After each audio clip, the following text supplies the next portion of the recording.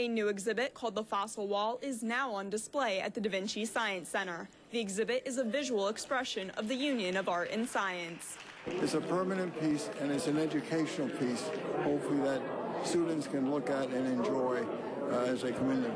21 wood and metal designs have been compiled by Ackerman to create the Fossil Wall exhibit. The inspiration comes from fossils that are as old as 300 million years ago, and I saw these fossils when I was at Penn State, and I uh, decided that I would make a metal piece that uh, would uh, represent in a design form these particular uh, images. And so I did it with steel and with brazing and bronze and put it together and ultimately made a wall. Uh, back in the late 60s, I made this wall.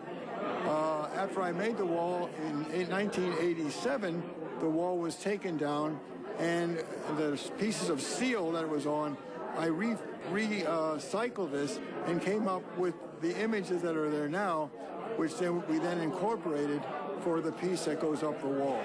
It was in storage from 1987 up until now, and it was then that I cut the pieces out and was inspired by this building to try to do something where I could mount them so people could see the connection between art and science. That was my whole motive.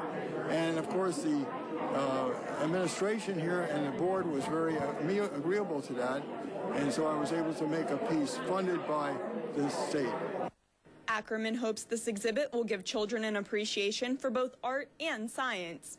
I think one of the saddest things is that we don't see the relationship between art and science very much.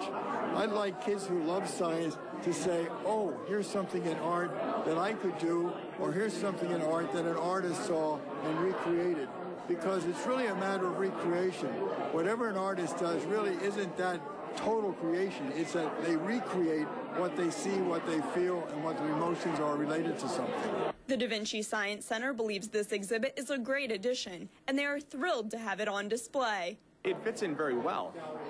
Once we put that up and we, we got to look at it, we really started thinking about the art that's within all of the science, all of the exhibits that we have here. So we started looking around it, I think with a, a new appreciation for some of the exhibits, seeing the art that's inside, whether that's with, with our bioscape exhibits that we have up, whether that's even with with the touch tank, looking at just some of the some of the animals that are in there and you know some of the some of the plants that are inside our touch tank and really seeing the art the science. So I think this fits in very well.